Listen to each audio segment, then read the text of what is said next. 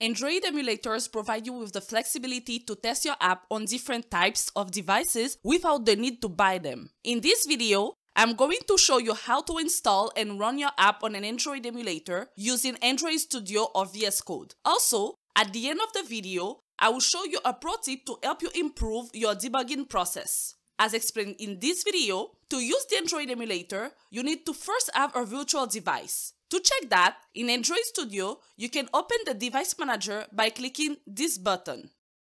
If this list is empty, that means you will need to create a virtual device. The same way, in Visual Studio Code, with the Flutter project open, go to the status bar at the bottom and click here. This will open a list of available devices and offline emulators. To keep this video short, I will not go over the process of creating new virtual devices, but you can watch this video where I show how to create a virtual device for your Android emulator from scratch. So if you see at least one virtual device, you're good to go. Now, launch the emulator by clicking this button in Android Studio or by clicking directly on it in the list in VS Code. Now, there are two ways that you can install and run an app on the emulator. The first way is to use an already built APK. If you have the APK file for your app, you can open the location where the APK is saved on your hard drive, select the APK, and drag and drop it on the emulator.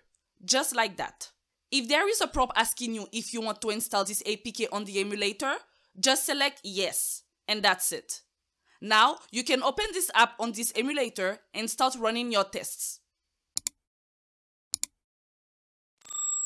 The second way, the most popular one, is to build your code and install a debugging APK directly to the currently selected emulator. With your Android app project open in Android Studio, you can come here and click the Run icon.